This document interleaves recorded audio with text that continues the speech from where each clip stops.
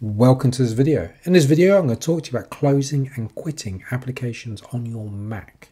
Okay, so it's a, it's a shortcut, and not only does it close the application, but it fully quits it because you can close it, but it'll still be running. Okay, so you actually need to quit it and force it off essentially, uh, so it's completely gone.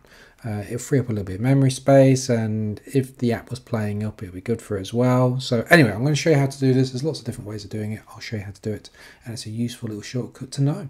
On with the video. To show you this, let's open up the Pages app on my Mac. So we got Pages down the bottom there, and I'm going to create a new document, and now we're in Pages. Close this down, I'd normally click on the red button at the top left.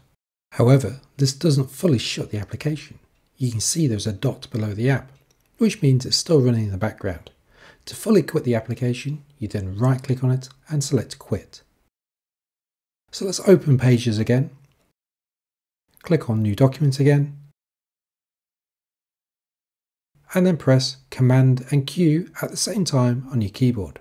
And you can see the window shuts and there's no dot below the app on the dock, which means it's fully quit. Let's show you this again.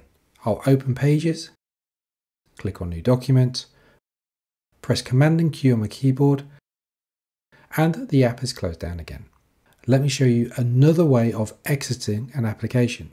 I'll open Pages, I'll go to New Document, and then I'll press Control, Command and Escape at the same time. This will close the window but you can see the dot below the app on the dock is there, so it means it's still running. And finally, the last way of exiting and fully shutting down an application is to force quit it.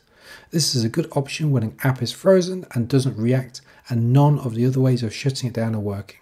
Press Option, Command and Escape on your keyboard.